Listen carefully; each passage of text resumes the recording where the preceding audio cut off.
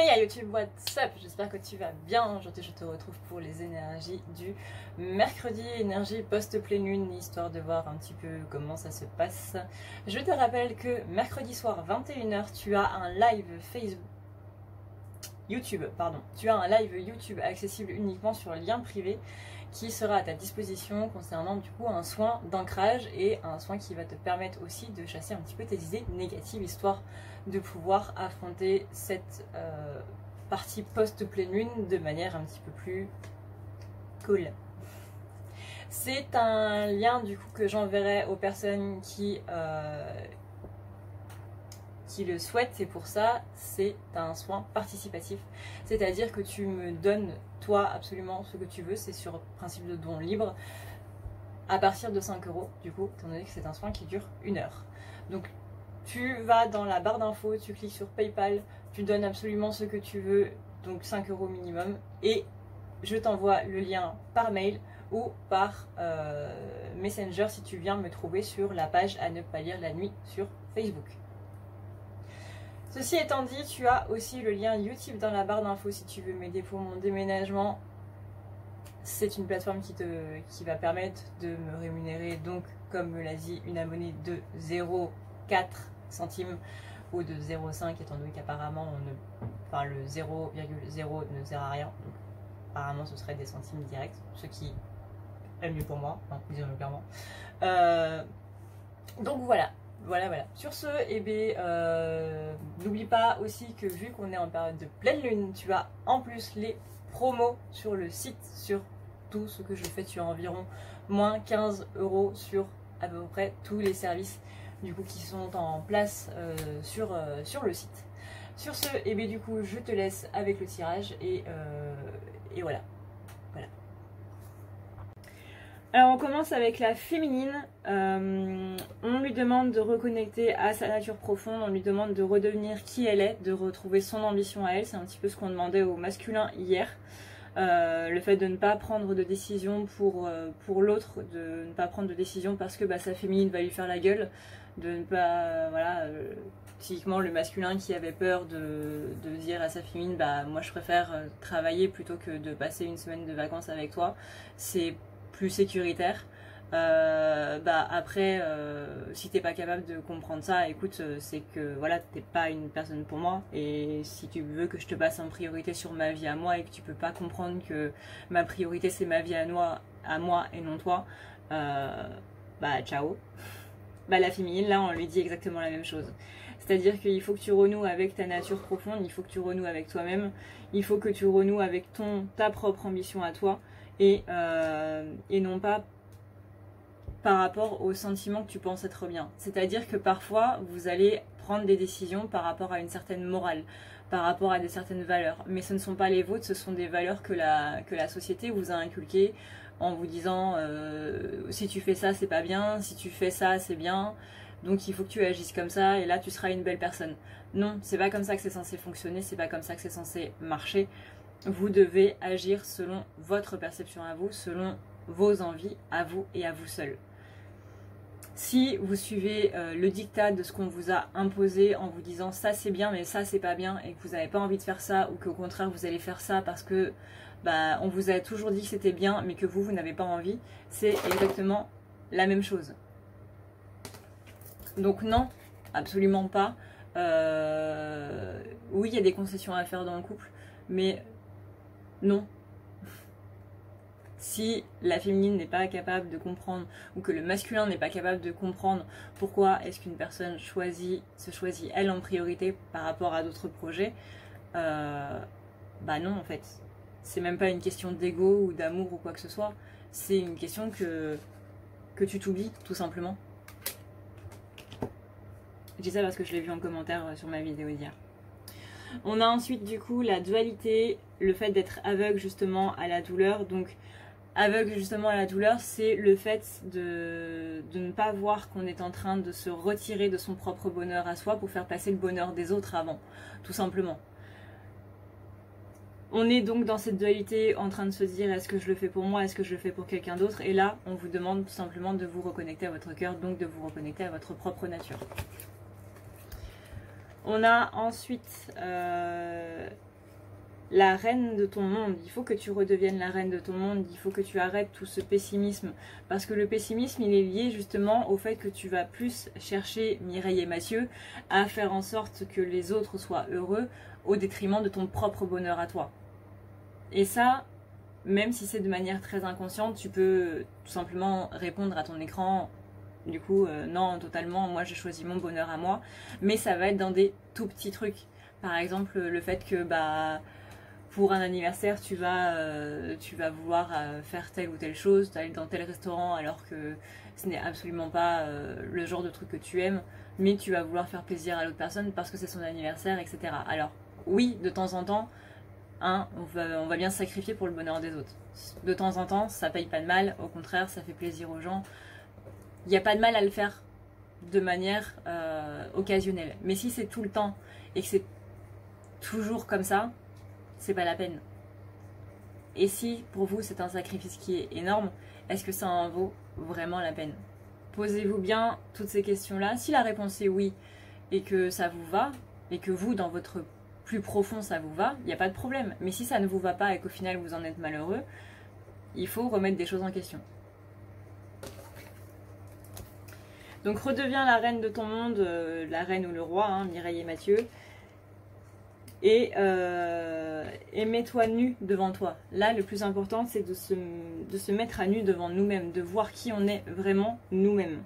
C'est ça qui va nous permettre du coup d'entrer dans cette force d'action et c'est ça qui va nous permettre de, redevenir le pilier que l'on est pour soi. Tu veux prendre rendez-vous avec moi, c'est très simple, il te suffit de dérouler la barre d'infos qui est juste là, d'aller dans prendre rendez-vous et de cliquer sur le premier lien qui va t'amener directement à la page qui va te permettre de prendre les rendez-vous. Tu devras juste choisir ce que tu veux entre le tirage, c'est-à-dire ce que je fais sur YouTube, les lectures akashiques qui vont te permettre de voir un petit peu pourquoi tu as ces blocages-là, à quoi ça fait référence au niveau de ton karma, donc de tes anciennes vies ou de cette vie de maintenant. Tu as le soin énergétique qui va te permettre de pouvoir te rebooster un petit peu. Tu as le soin d'ancrage pour t'aider à t'ancrer un petit peu plus avec le balayage qui va te permettre de pouvoir dire un petit peu plus au revoir à tes pensées négatives le nettoyage de l'aura qui sert notamment à enlever les énergies négatives présentes dans ton aura. Le nettoyage des chakras qui te permet de nettoyer l'intérieur de tes corps éthériques et astraux. Le nettoyage complet qui sert pour les désenvoûtements, qui sert si tu as notamment pas mal d'ombre en ce moment, que tu sens qu'il y a des choses qui ne vont pas très bien chez toi. C'est la combinaison du nettoyage de l'aura et des chakras afin de pouvoir enlever tout ce qui est ombre et magie noire. Tu as la thérapie des blessures qui va te permettre de pouvoir Mieux soigner tes blessures en allant vraiment au fond. On va ici parler à ton inconscient, ce qui sera beaucoup plus pratique. Et tu as la chambre noire qui est la suite de la thérapie des blessures, étant donné que la chambre noire est quelque chose de beaucoup plus puissant en termes psychologiques et physiques. Tu as ensuite les forfaits, le nettoyage plus la guidance, le nettoyage complet et une guidance, et bien entendu le soin pour tes animaux. N'oublie pas non plus de cliquer sur à savoir sur les rendez-vous. Tu auras ici toutes les choses à savoir, par exemple les questions auxquelles je ne réponds pas, comment ça se passe au niveau des rendez-vous. Tu as aussi, en ce qui concerne les annulations, les remboursements, et comment se passe de manière détaillée un rendez-vous. Tu as aussi ce qu'il y a à faire après le rendez-vous.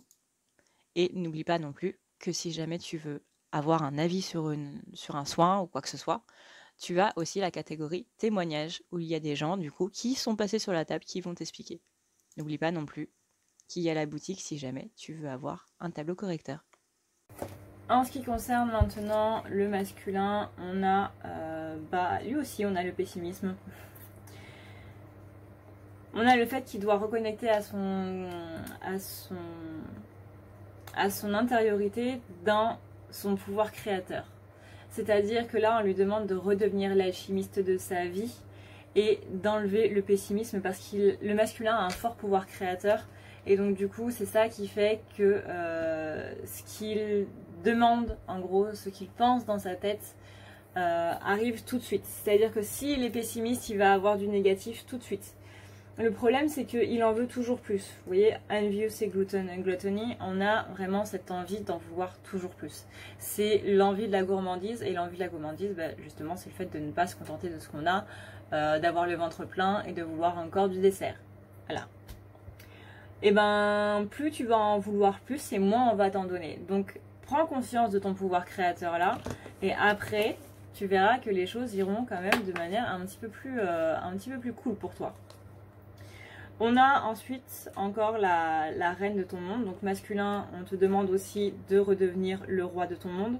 Là, on a vraiment des jumeaux, un couple sacré euh, qui, est en, qui est en lumière, deux polarités, si vous n'êtes pas flamme jumelle, deux polarités qui sont bien en lumière.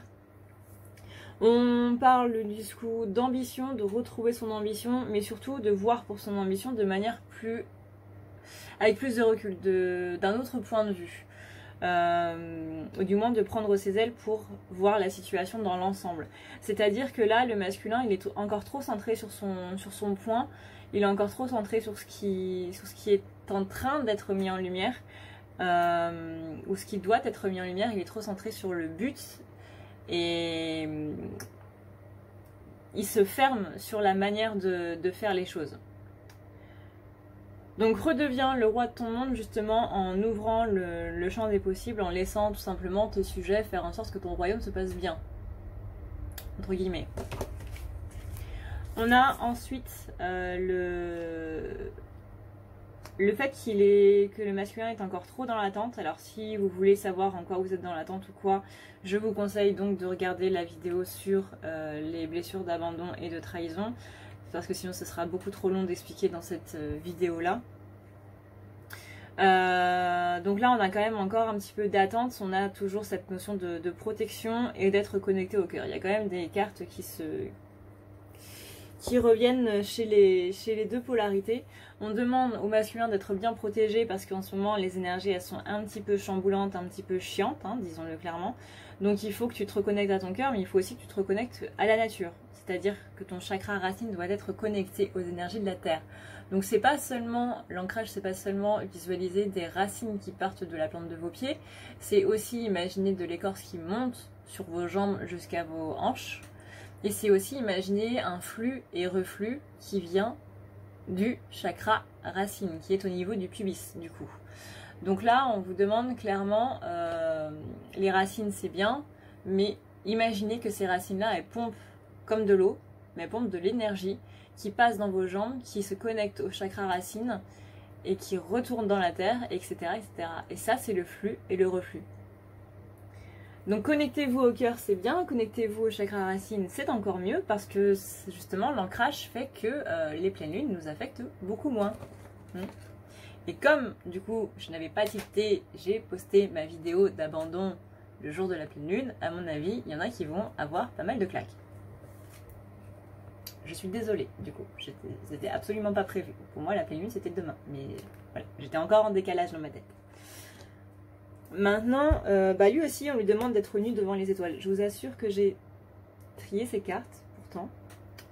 Mais lui aussi, on lui demande de se mettre à nu devant lui-même, de se mettre, de se montrer euh, à lui-même, d'être vraiment